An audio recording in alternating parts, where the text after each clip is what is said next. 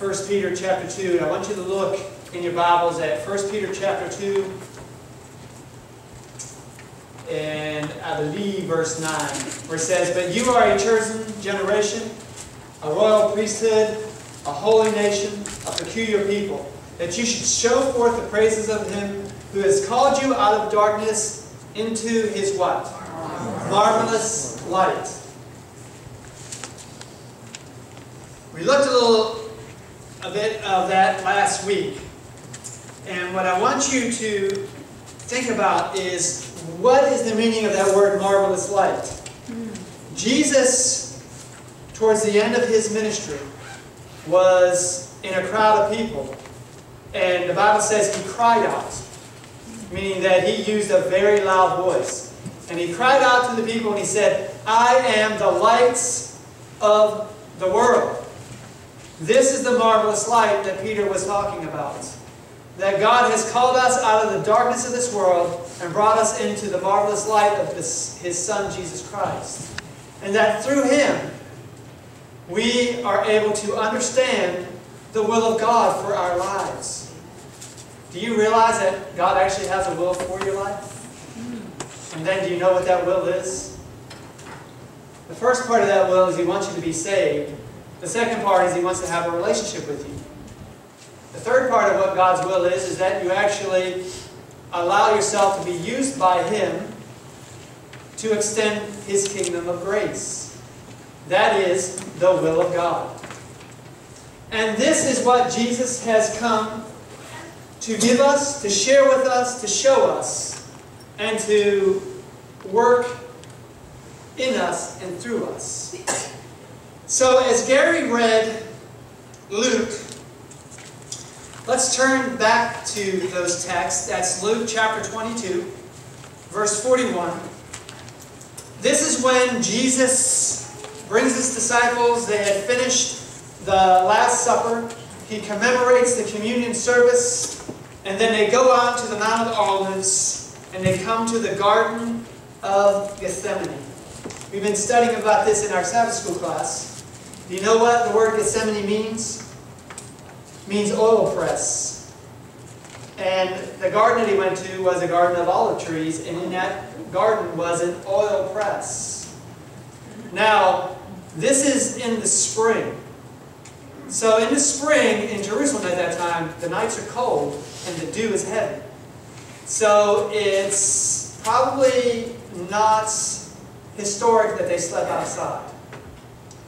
But an oil press would give them a place to go and find shelter.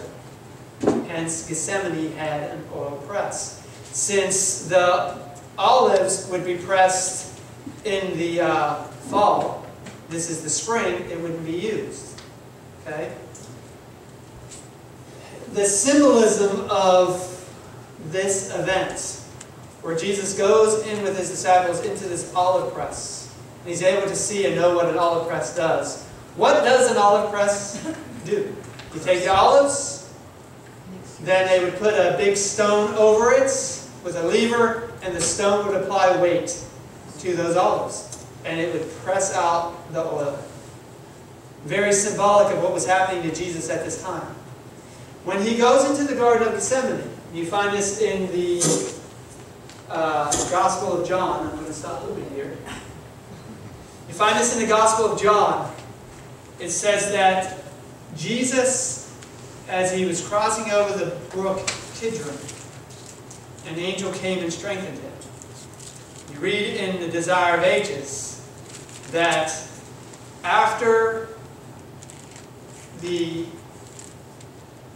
celebration of the Passover meal, when he commemorated communion, after that is when the sins of the world started to be put upon him. And at that point, you have to really think of what it would be like to be Jesus at this point. You have never known what sin was in your entire earthly existence, but you have to realize that your birth date on this planet was not your beginning. You've never had a beginning. And prior to taking humanity, you would never have an ending. And in that whole time, There was never a separation between you and your Father and the Holy Spirit. Can you turn that down some?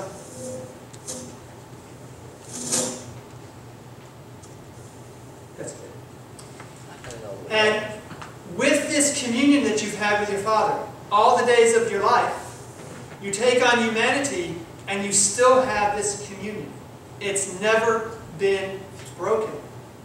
But when you come to the Garden of Gethsemane, and now you're taking upon yourself the sin of an entire world, those who have lived before you, those who were living in the time of Jesus, and those who would live after he went back into heaven all the way to the end of the close of probation.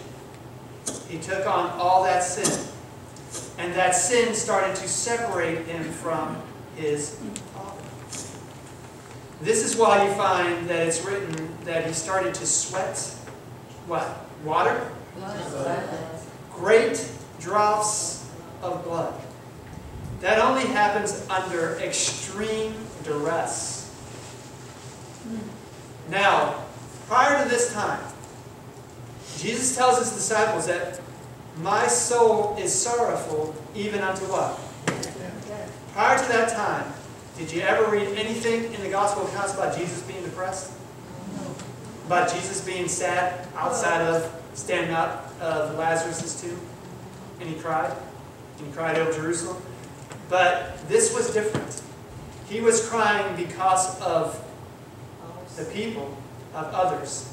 This is the first time you see him focusing on himself. You guys ever notice that?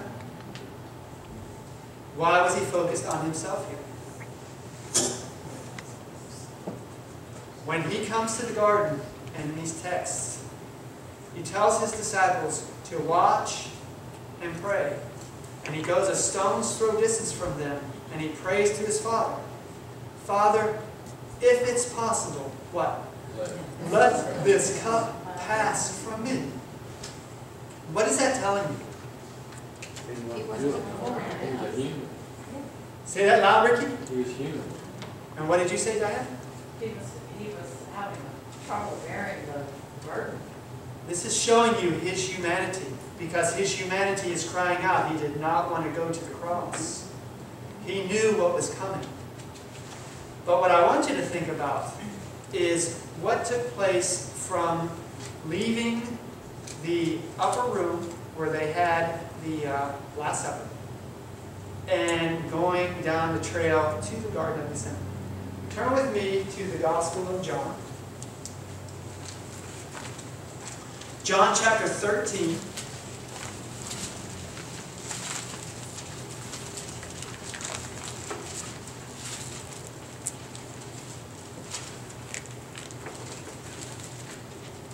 Verse 4. Mm, no, that's actually where he actually washes the feet of his disciples. But let's look at that anyway, and then I'll wrap up with what I want you to see. Verse 4 says, Jesus rose from supper and laid aside his garments and took a towel and did what? Girded himself. And after that he poured water into a basin and began to wash the disciples' feet and to wipe them with the towel with which he was girded. And when he came to Simon Peter, Peter said to him, What? Lord, are you washing my feet? Why was this Peter's reaction? The servants didn't feel very kind of water. Shouldn't have been Peter's job to do that. Shouldn't have been John's job, Judas's job, Mark or Matthew's job. And yet, they were looking for the servants, which they failed to get. Okay? So who is it that actually steps up and performs the role that these guys should have done? And Jesus tells them plainly, what I'm doing for you right now, you do not understand. But I set before you an example.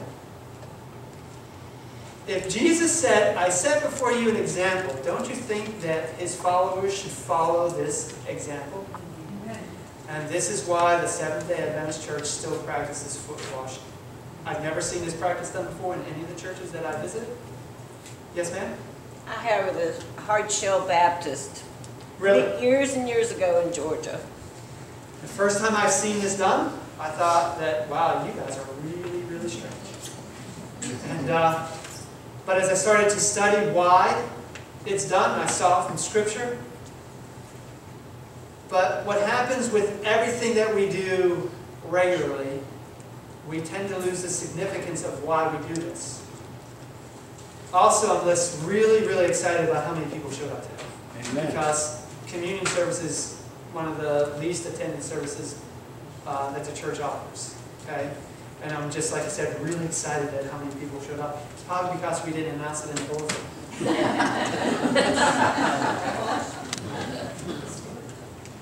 But I want you to understand what this conversation means when he's talking to Peter. Peter said, Lord, you should never wash my feet. And what does Peter or Jesus say to Peter?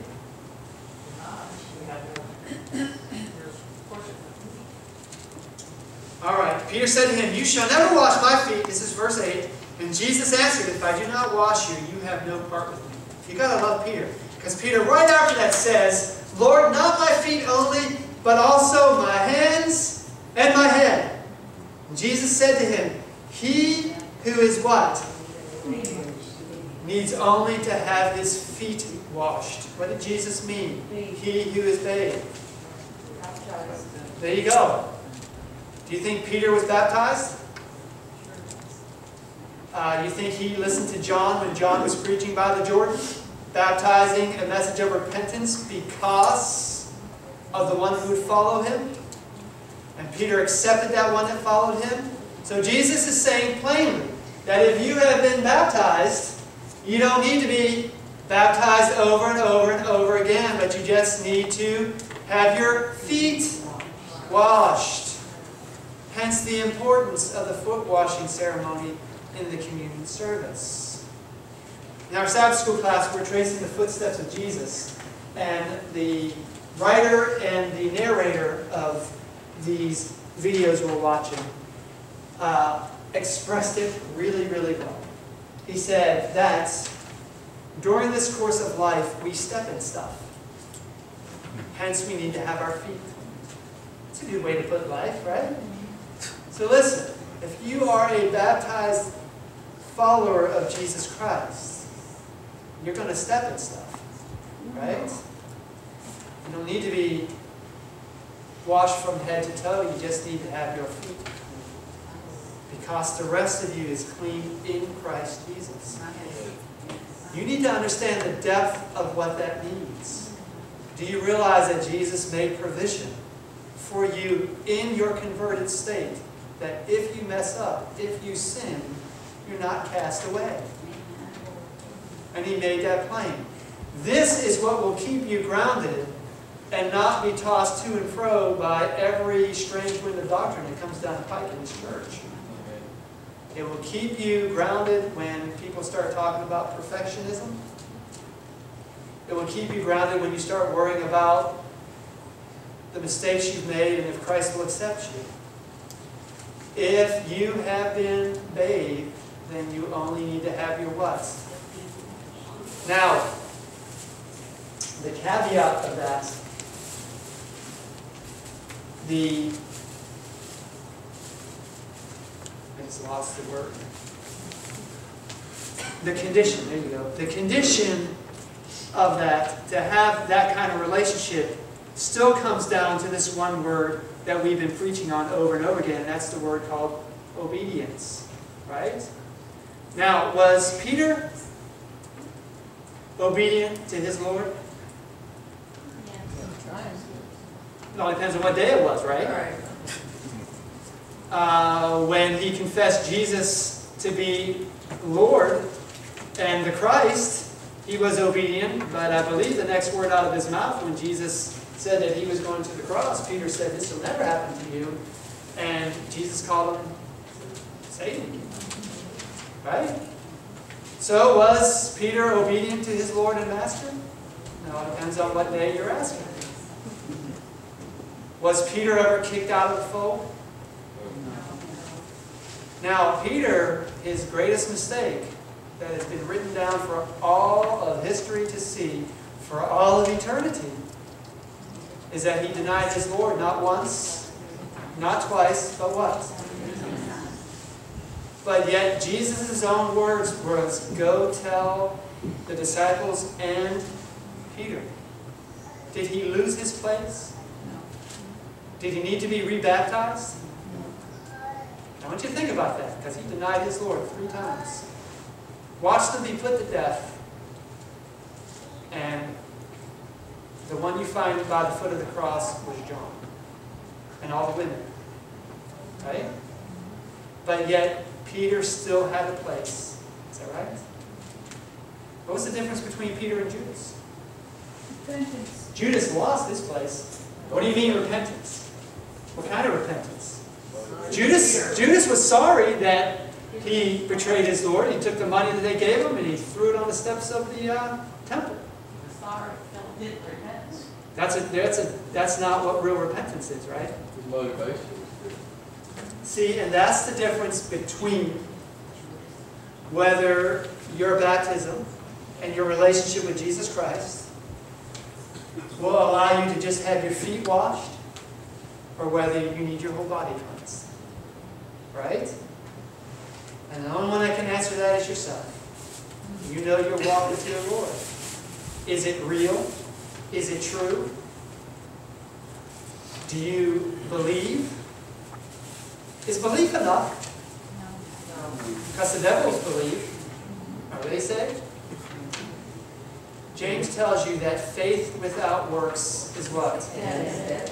That's faith without belief. Right? The belief is what constitutes the work. I do these things for Jesus Christ because I believe in Jesus Christ. And if I was to keep quiet, I would explode. Because there's just something that wells up inside of me that wants me to share what Christ has done in my life and what He has revealed to me about Himself. That this is a Savior that loves me so much that He knew who I was, what I would be, what I would do, and He loved me enough to go to the cross so that I could be with Him throughout eternity. This is my personal walk with Jesus Christ, and this is why I continue to walk with Him today. And by the grace of God, I want to be able to continue to walk with Him all the days of my life. It is because of what He has done for me. As I close this, let me see if I can find this real quick.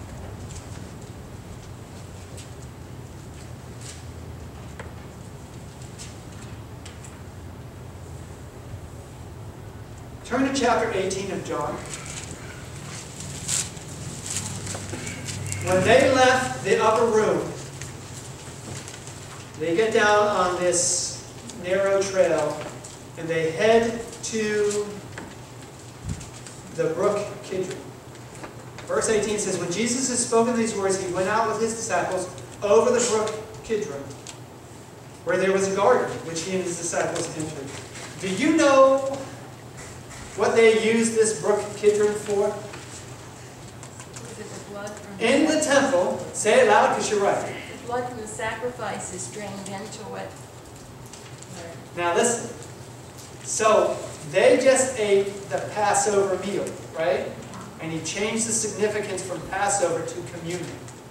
So that's telling you that they have made the sacrifices in the temple of the Passover lamb. A census was taken, and in one Passover they slew, what was it, 236,500? 56,000? 256,500 lambs. Do you know how much blood that would be coming down into that brook? Now, it was a full moon that night. Passover happens the same time every year, right? You can tell whether it's a full moon, you go back in history. A full moon that night. A month before the Passover, they would whitewash the tombs that were right on the side of the hill as you walk down to the brook Kidron. And so as he leaves the upper room, and he's walking in the light of the full moon, he can see the whitewashed tombs of these graves, knowing what's going to come. That his death is imminent. As he gets to the brook Kidron, and he sees it in the light of the moon, the water isn't white, it's what? It's red. Knowing that he is going to shed his blood And the spirit of prophecy and the desire of ages tells you when he gets there, he collapses. And an angel comes and strengthens him. Do you understand what in his humanity he went through for you and I? This wasn't an easy decision for him to make. If it was easy, he wouldn't have prayed three times for it to pass from him.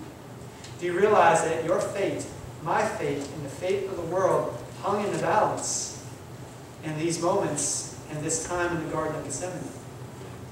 If in his humanity he said, I don't want to go through with this, what would have happened to you? What would have happened to me?